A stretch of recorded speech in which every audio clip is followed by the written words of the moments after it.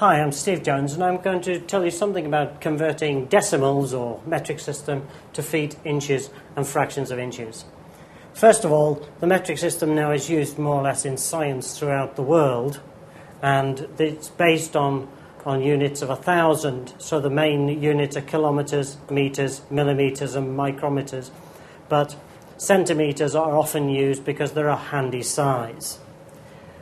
At the same time, in America and in Britain, the units used were miles, yards, feet, inches, and eventually thous, which are used in industry.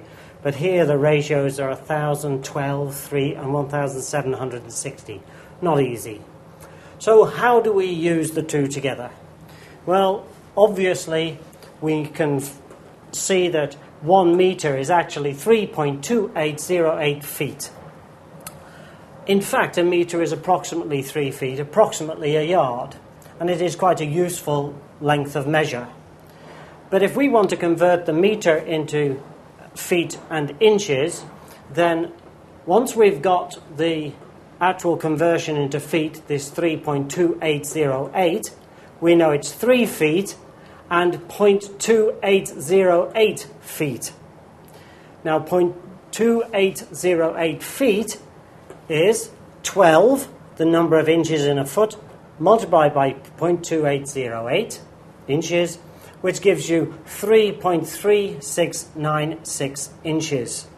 So it's fairly straightforward. So one meter is actually three feet, and you'll notice we do a single stroke for feet, 3.4 inches. So obviously we don't have an exact uh, measurement for this. Now, this is not the only conversion we might do. Very often we are looking at kilometres and putting kilometres into miles. Well, the mile is, of course, further than a kilometre. In fact, uh, about five, one kilometre is approximately uh, five eighths of a mile.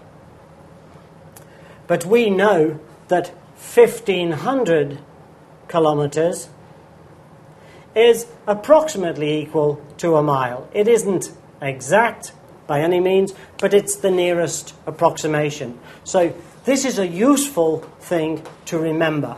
What we have to remember in converting decimals to feet and inches is in the main, we can use certain uh, approximations. A meter is three feet, or 1500 meters, not kilometers, 1500 meters is a mile. We can use two and a half centimeters, 2.5 centimeters is approximately equal to one inch. So if we want to use this procedure, we can get a more accurate result for the conversion from meters into feet and inches.